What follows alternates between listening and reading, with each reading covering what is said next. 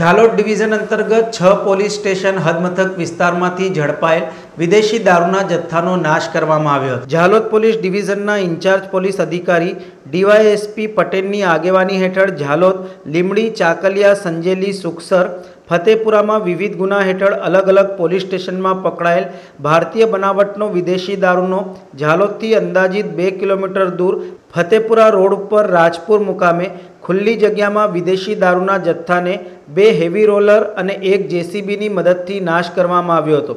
આ સમયે રાજપુરા મુકામે સ્થળ પર પ્રાંત અધિકારી, ડીવાયએસપી તેમજ છ પોલીસ સ્ટેશનના પીએસઆઈ તેમજ મોટા પ્રમાણમાં પોલીસ સ્ટાફ હાજર રહ્યો હતો. ડીવાયએસપી પટેલના નિવેદન મુજબ અલગ અલગ પોલીસ સ્ટેશનના વિવિધ ગુનાઓમાં પકડાયેલ વિદેશી દારૂની કાયદાકીય મંજૂરી મેળવી નાશ કરવામાં આવેલ હતો.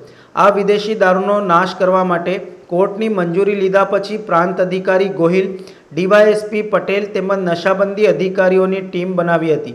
આ ટીમ દ્વારા સ્વસ્થ ભારત અભિયાન હેઠળ પ્રાંત અધિકારી, ડીવાયએસપી તેમજ છ જેટલા પીએસઆઈ અને અન્ય પોલીસ સ્ટાફની હાજરીમાં આ તમામ વિદેશી દારૂના જથ્થાનો નાશ કરવામાં આવ્યો હતો.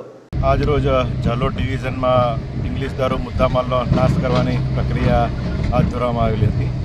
જે અનુસંધાને ઝાલોદ ડિવિઝનના છ પોલીસ સ્ટેશનમાંથી જે ઇંગ્લિશ દારૂનો મુદ્દામાલ છે, એની નામદાર કોર્ટમાંથી મંજૂરી મેળવવામાં આવેલી હતી. મંજૂરી મેળવ્યા બાદ તેની પ્રાંત અધિકારી ઝાલોદની મંજૂરી મેળવ્યા બાદ કમિટી બનાવવામાં આવેલી હતી, જે કમિટીમાં પ્રાંત અધિકારી સાહેબ, નશાબંધી અધિકારી સાહેબ તેમજ લોકલ ડીવાયએસપી સાહેબની કમિટી હતી, જે અનુસંધાને આજરોજ કુલ છ પોલીસ સ્ટેશનનો ઇંગ્લિશ દરનો મુદ્દામાલ કુલ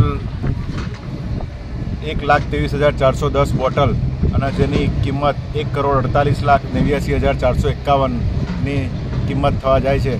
જેનો સ્વસ્થ ભારત અભિયાન હેઠળ આજરોજ ઇંગ્લિશ દારૂનો મુદ્દામાલનો નાશ કરવામાં આવ્યો છે. સમાચારોના સતત અપડેટ મેળવવા માટે લોકમત ન્યૂઝને યુટ્યુબ ઉપર સબસ્ક્રાઇબ કરો. બેલ આઇકોન દબાવો અને અમારી સાથે જોડાયેલ રહો ફેસબુક, ઇન્સ્ટાગ્રામ અને ટ્વિટર ઉપર.